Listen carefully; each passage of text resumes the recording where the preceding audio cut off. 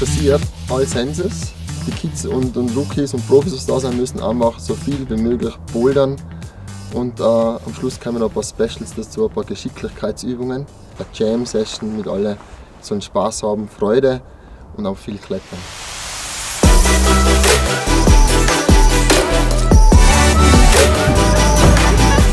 Also wir sind da heute beim All Senses Bewerb und äh, da geht es darum, möglichst viele am Bowl am Felsen zu machen und Spaß dabei zu haben und selber an seine Grenzen zu gehen.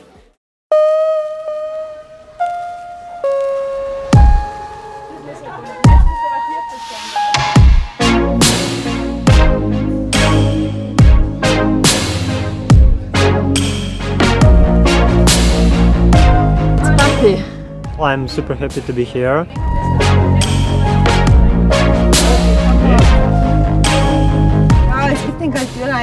Nur leisten. Und wenn man mal einen Aufleger hat, dann muss man eigentlich auch aufstellen.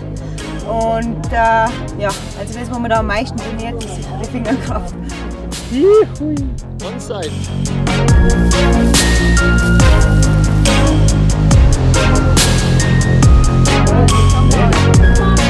Ja!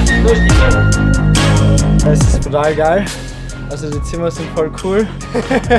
das schneidest bitte raus, dann, gell?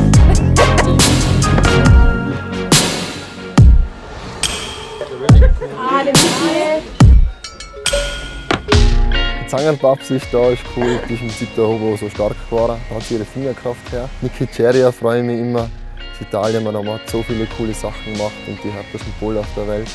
Rustam Gelmanov, der war 2015 schon da, ihm taugt die Gegend. Yeah, right now I have a family trip and we just enjoy nature and walk a lot because I have a small kid. But here especially for climbing and I would like to do everything possible to do in three days. Äh, dann die Lara Neumeier, die Melissa Leneve und der Fabian Pull ist auch noch dabei. Dann haben wir sie eigentlich alle, gell? Also der Band hat das schon viel gemacht. Also gerade wenn er Fingerverletzungen gehabt hat, hat er das eigentlich angefangen mit Design und so.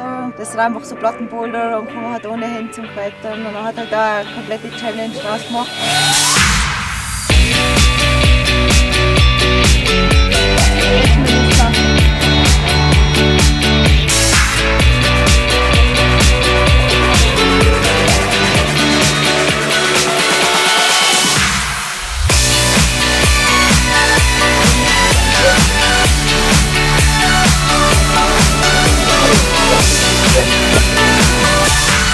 Jetzt zum dann noch blind klettern. Ist sicher auch spannend für die Teilnehmer. Coole Challenge.